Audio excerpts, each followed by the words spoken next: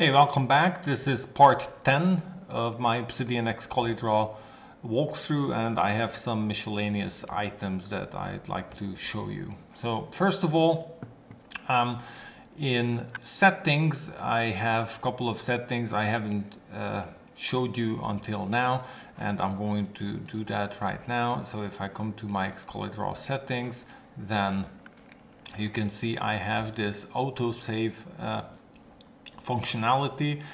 Uh, you can set up uh, autosave, then your drawing is going to be saved every 30 seconds. I did this uh, especially on mobile.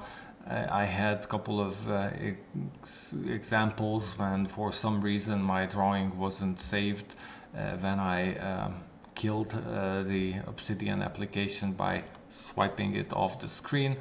Um, and so this solves that.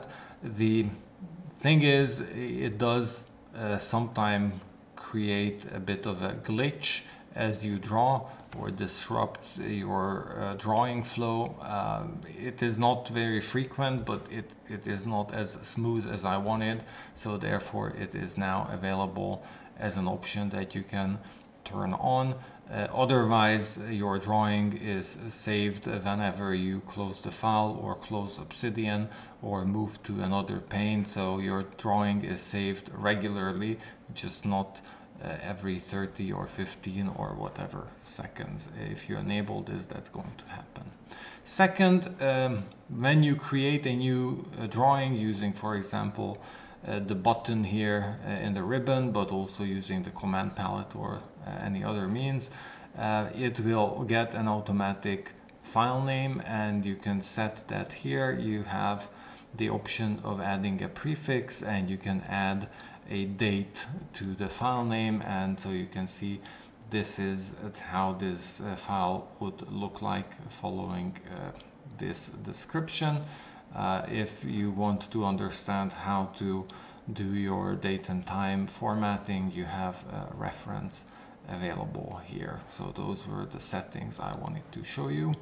Um, in uh, Obsidian, uh, not Obsidian, in Excalidraw you have some other features uh, that I use sometimes. So one is the uh, Zen mode and view mode. So you can uh, simply uh, switch between these. So if I turn on view mode, then you see that from this point on my drawing cannot be modified, it can only be viewed. Uh, actually, even the links don't work, but this is good if you don't want to uh, change your drawing. And Zen mode, on the other hand, uh, just, uh, oops, that wasn't, this is Zen mode, uh, that hides some of the uh, float-in panels that block the view. Uh, and you can uh, turn on and off Zen mode using uh, Alt Z. And then going further, some of the plugins I enjoy using with Excalidraw. So one is Ozan's image in uh, editor and so here's the link you also find it in community plugins and this is an awesome plugin what this does is it actually um, transcludes the Excalidraw drawing. So if I, for example, look at this document, you can see um, that if I go into edit mode, that in edit mode I have my drawing here, or I can have a PNG or SVG or PDF document. And uh, during or in edit mode, I already see it's sort of a, what you see is what you uh, get type of editor feature. Uh, what you need to pay attention to is the way Ozan's uh, plugin work is a file name must include .excalidraw or it could also just include .md as I explained uh, in an earlier uh, part which was uh, part 5 I talk about this um, otherwise if you don't have uh, the .md or .excalidraw uh, in uh, the editor view, Ozan's plugin will not display the picture. Uh, it will still work in uh, preview mode, but uh, that's something to know about the plugin. Still, super uh, fantastic uh, tool and extremely useful. So I, I, recommend that you go ahead and install Ozan's image editor.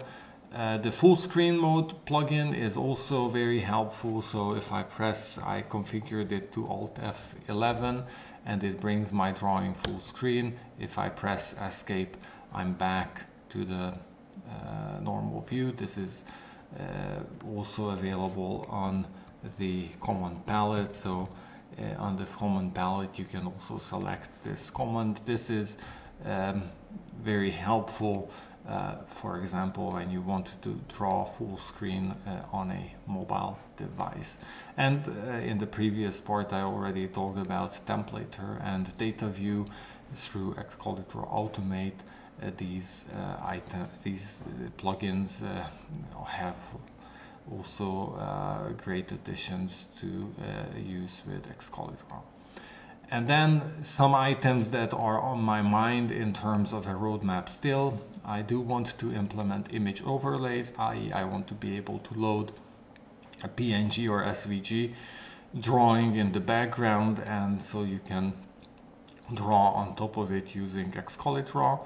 Um, I'm uh, thinking about solving some of the issues in terms of adding uh, custom fonts that you can change one of the font families. Uh, I got this request to include, for example, Chinese handwriting fonts, but if I solve this, then I can solve it for uh, other custom fonts as well. Uh, as well as I received a request that it would be great if you could specify your own custom color palette. So those are some things that I'm looking uh, into as well as I'd love to create uh, image map exports, i.e. if I export this as an SVG or PNG document, then this document should actually be exported with the links. Uh, imagine a drawing with some web links and uh, then it would be a nice uh, image map solution.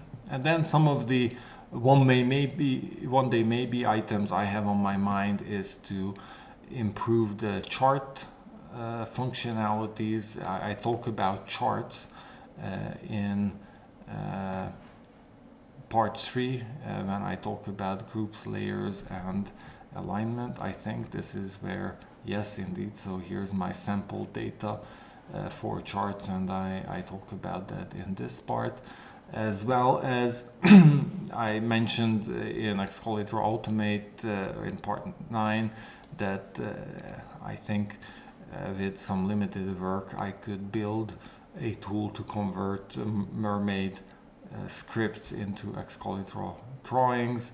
And then there are some uh, fun Xcolor projects on GitHub like this stop motion project where you can uh, put together uh, this uh, drawing and then uh, go ahead and animate create an animation. So that would be great to include within Obsidian this feature but these are really these uh, Uh, one day maybe items. And that concludes my walkthrough of Obsidian Draw 1.2.